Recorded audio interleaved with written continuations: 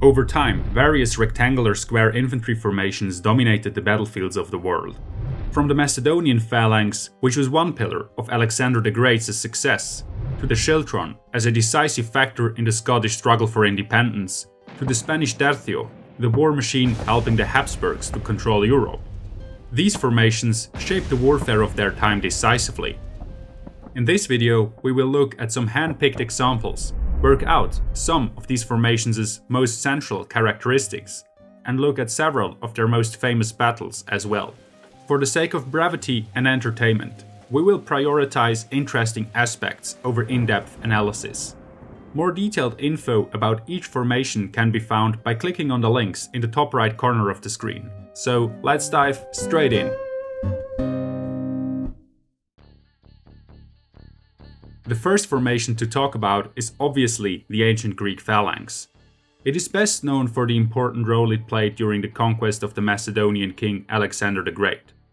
As one of the pillars of his military success, the phalanx played a decisive role in several battles, such as Chaeronea, Granicus and Gaugamela. At Gaugamela in 331 BC, Alexander faced a Persian army superior in numbers under Darius III.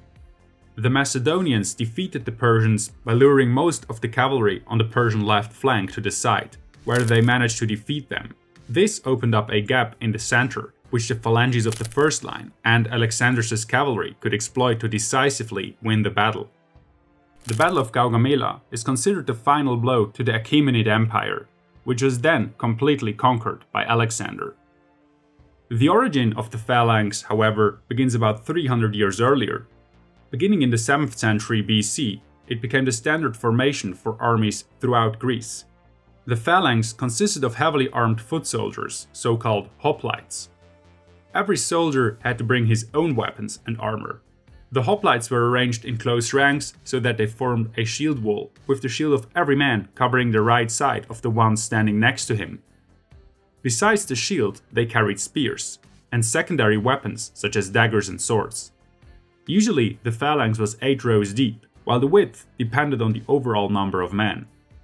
In battle, the phalanges marched towards the enemy and tried to push them away.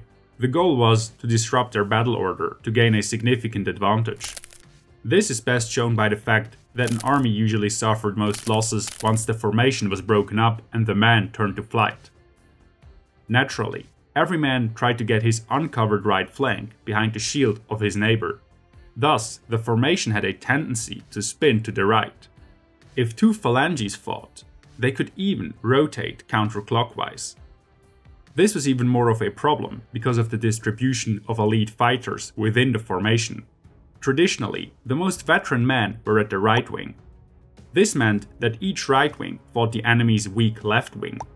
Whoever won on the right wing first usually ended up winning the battle. This problem of the early Greek phalanx formation was solved by the generals of Thebes in the 5th and 4th century BC. First, the right wing was deepened to 25 ranks in order to defeat the enemy's weaker side more quickly.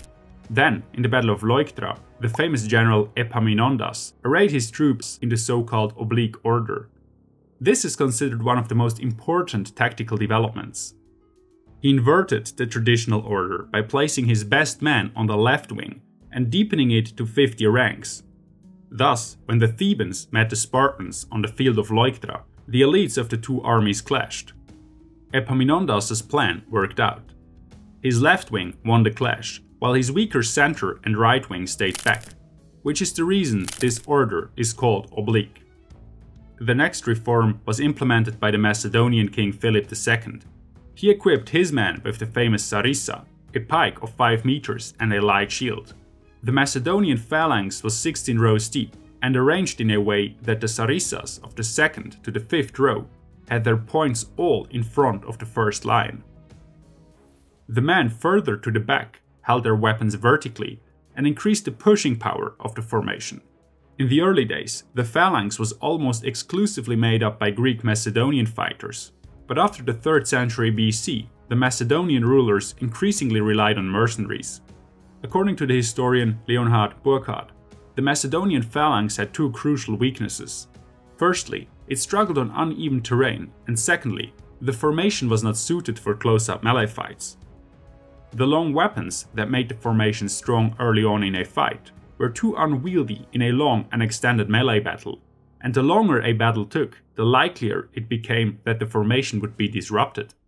These weaknesses became obvious in the Battle of Pydna in 168 BC, when the Macedonian phalanges under King Perseus met the Roman army under the experienced commander Lucius Aemilius Paulus.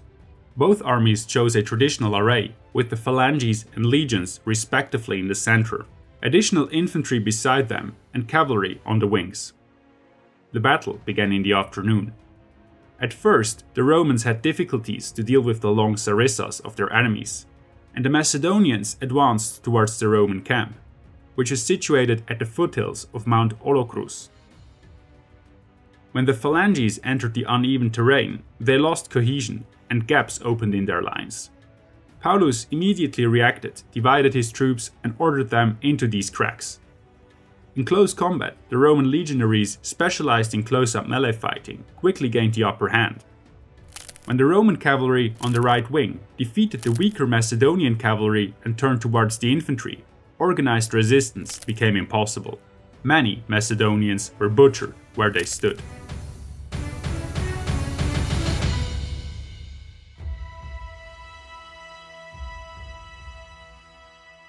Unlike the Romans, who didn't put a lot of emphasis on long spears, other armies continued to rely on spear-armed troops. But for the next couple of centuries, it seems that, generally speaking, more linear formations were used, for example, shield walls.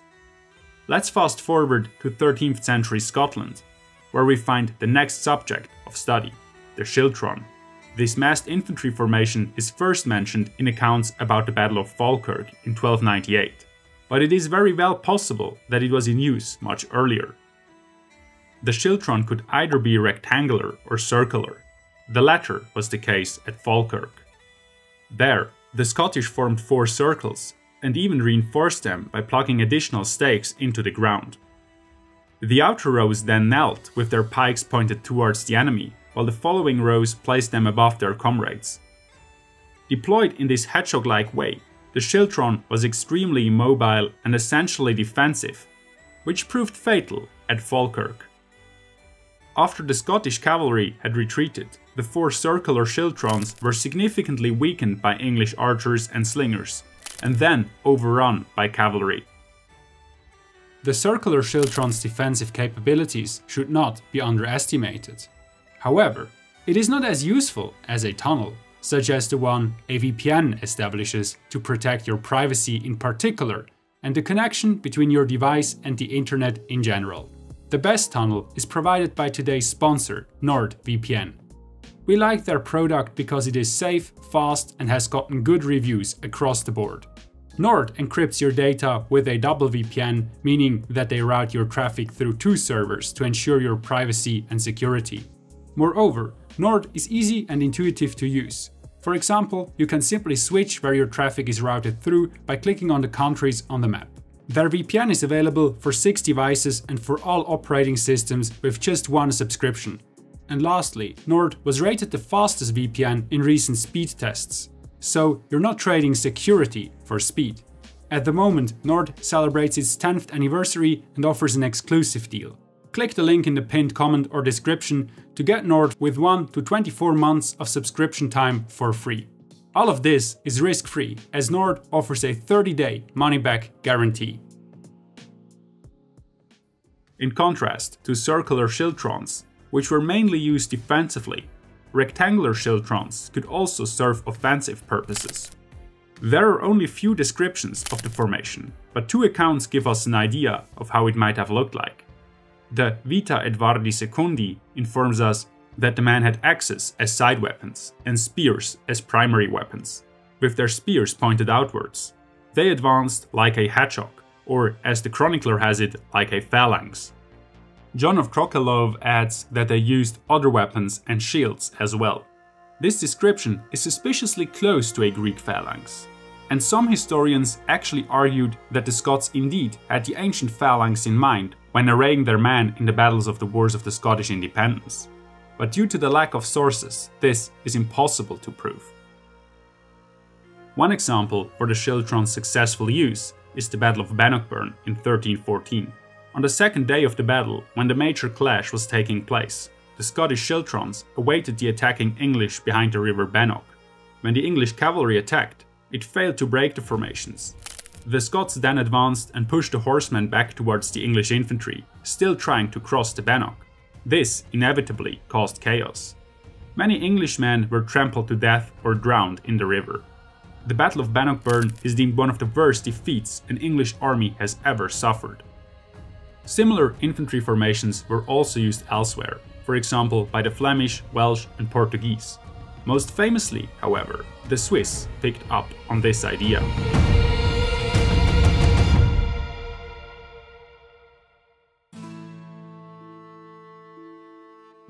All these medieval formations had a common purpose, coping with cavalry. The Swiss reached perfection at this art. The Swiss pike square, also known as Gewalthaufen, literally crowd of force, is sometimes directly compared to the ancient Greek phalanx. However, there are some significant differences. First off, it was a mixed formation. In contrast to the Greek phalanges, most of the fighters were equipped with shorter weapons, namely halberds, swords or axes, and the like.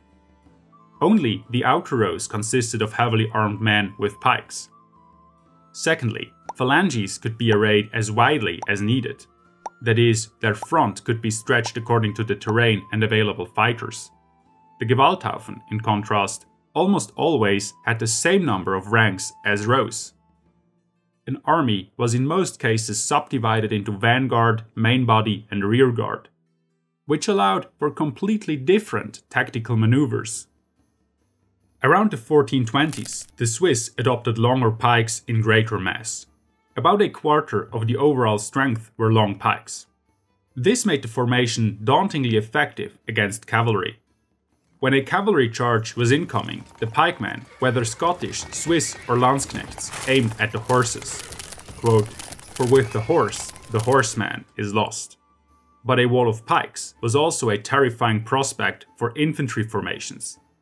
On the offensive, the Swiss pike square was capable of steamrolling charges, after the clash, the pikemen would step aside so that the more agile men with shorter weapons in the center could storm out and kill the enemy.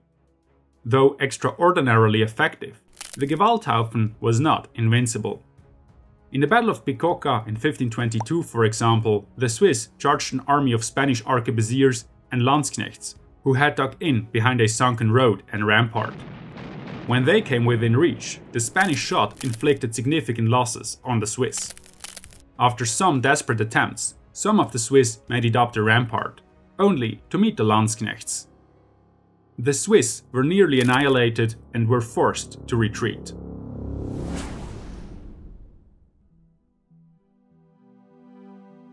Let's switch perspective. The Landsknechts had adopted the Swiss pike squares just before 1500 and improved it significantly. Now, the men with pikes made up more than 50% of a pike square and the square itself was stratified. Rows of pikemen alternated with melee fighters carrying two-handers and short polearms. In comparison to the Swiss, the Landsknecht's pikemen themselves held their weapons closer to the end, so that the points of five or six men standing behind each other could all be placed in front of the first man. In addition, as Reinhard Baumann, an acknowledged expert on the Landsknechts notes, quote, Frundsberg, a famous Landsknechts leader, apparently recognized the signs of the times. The future belonged to firearms. Not only did he recognize this, but he also put it into practice, and consequently increased the number of firearms in his units. The first rank of a Landsknecht's regiment usually consisted of Doppelsöldner armed with pikes. The term Doppelsöldner, which translates to double mercenary, refers to a mercenary who gets double pay. These were usually heavily armored veterans, or fighters who bore more risk because they fought in the so-called Verlorener Haufen, which in English is usually referred to as Forlorn Hope. This was a small band of men fighting under a blood-red flag. The Forlorn Hope was basically a death squad, consisting of criminals, Landsknechts chosen by lot, and volunteers, which served to breach the enemy lines. From about 1522 onward, this was mainly done by the relatively loosely operating shot, which tried to shoot gaps into the enemy formation to create an opportunity for the infantry to attack. Not their most famous, but a very fitting example is the Battle of Cerignola in 1503. There, the Landsknechts and about 1000 Spanish arquebusiers defeated a force of 9000 Swiss pikemen and French heavy cavalry.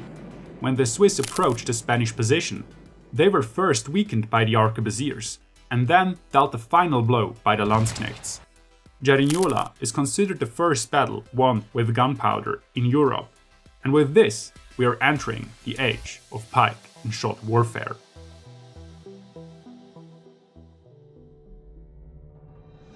One of the most famous pike and shot formations was the Spanish Tercio. It dominated the battlefields of Europe up to the Thirty Years' War. The Tercio was an answer to a puzzle of warfare. Pikemen on their own were vulnerable to shot units, while arquebusiers alone could be ran over by cavalry very easily. The solution was a symbiosis of both, so that the arquebusiers could shoot at an enemy infantry formation and step back into the cover of the pikemen if a cavalry charge was expected. Thus, the idea of pike and shot was born. The Spanish were the first to put this into practice. They soon created a military Goliath described as, quote, exemplary for an era of military history, quote, by the expert of early modern history Michael Sikora. Created in 1534, the Tercio consisted of 10 companies, 8 of which were composed of 200 pikemen, 100 arquebusiers, and 20 musketeers. Two companies were composed of exclusively shot units. So, in an ideal scenario, a tercio was about 2,500 to 3,000 men strong. In battle, the formation had a core of about 2,000 melee fighters. The gunmen were arranged on either side of them in so called garrisons, and four additional sleeves. These consisted of 100 to 400 gunmen and a handful of pikemen and halberdiers each. Over time, the overall number of pikemen and shot increased at the cost of other melee fighters. These smaller and more flexible squares allowed and asked for more elaborate forms of tactical deployment. An army was no longer simply organized in vanguard, main body, and rear guard, but in a checkered pattern, the so called Spanish Brigade. A simple brigade consisted of four tercios, a double brigade consisted of either 7 or 8. The fragmentation of the army meant that the battle wasn't lost if one unit broke or was exhausted. For around a hundred years, the Tercio dominated the battlefields of Europe. Even beyond that, it remained a force to be reckoned with. But already, in the late 16th century, a new challenger entered the stage.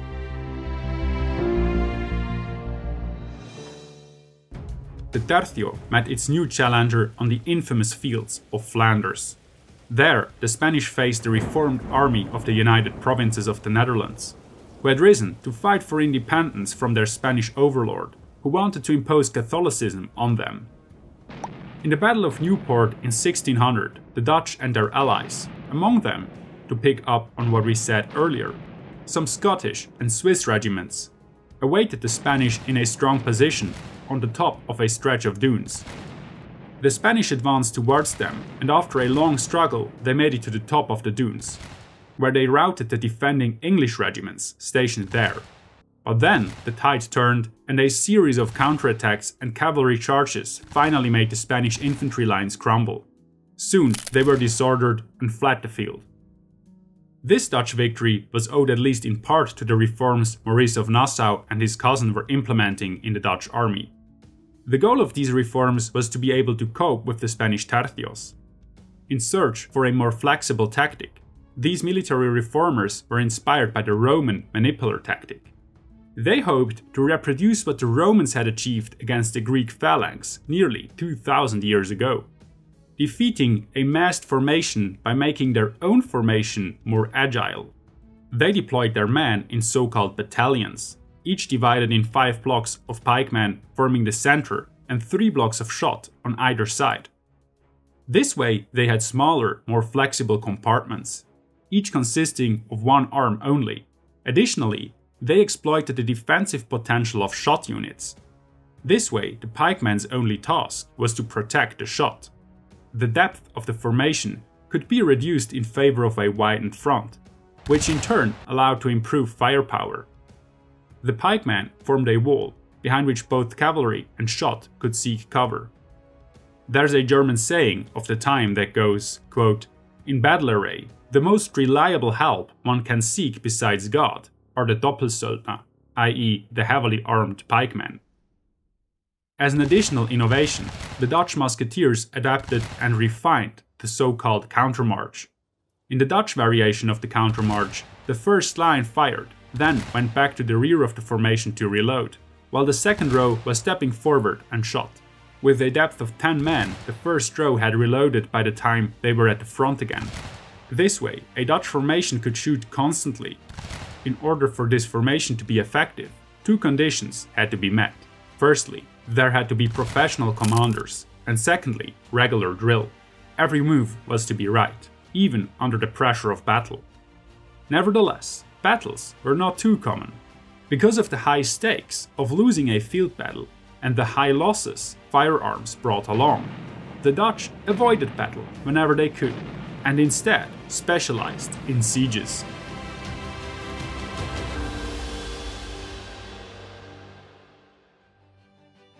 Just after 1600, the Dutch military reforms were brought to Sweden by one of the original reformers, John VII of Nassau-Siegen. There, it was further developed by the famous Swedish king Gustavus Adolphus. He further increased the number of shot contingents in his army and had his men drill so much that they were soon able to put up continuous fire even if they stood only six ranks deep. The new formation, the Swedish Brigade, was arguably a blend of the Dutch battalion and the Tercio, which neatly combined the advantages of both. In this new Swedish formation, the function of the pikemen was to defend the musketeers, and, if necessary, slowly advance together with the musketeers and fight other formations in melee. However, it's controversial how effective pikemen really were whilst on the offensive. The famous German writer Hans Jakob Christoffel von Grimmelshausen commented on the pikemen of his time, ironically, quote, And I think he who kills a pikeman, whom he could have spared, murders an innocent man. I have seen many harsh events in my days, but rarely have I seen a pikeman killing anyone. The Swedish army demonstrated that it had successfully refined pike and shot warfare in several battles, most prominently at Breitenfeld in 1631 and Lützen in 1632. The systems of the Dutch and Swedes foreshadowed the more linear formations of the 18th century, in which the pike was replaced with bayonets. The bayonet replaced the pike's defensive function on the battlefield. With that, the pike and shot age ended, and therefore this video. Thank you for watching, and please consider supporting us on Patreon.